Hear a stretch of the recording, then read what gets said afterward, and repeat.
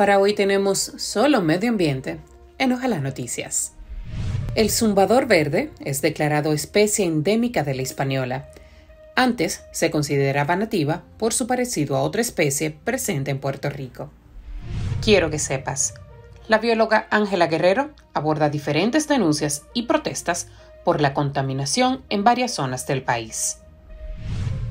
En Santiago, organizaciones sociales y comunitarias marcharon esta semana en protesta contra la contaminación del río Jamao al norte. Tiburones y rayas en peligro de extinción se capturan en áreas protegidas. Es una alerta publicada en el estudio de la revista Nature. Exceso de consumo de agua. Ecologistas en Acción insisten en que el problema de la sequía se deriva de una mala gestión y consumo excesivo de agua.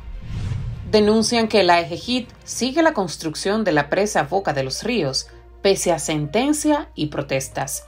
Están desmontando ribera del río Guayubín. Alrededor de un millón de especies se enfrentan a la extinción, entre ellas las jirafas, loros y robles, hecho que genera resultados catastróficos para la humanidad. Cambio climático.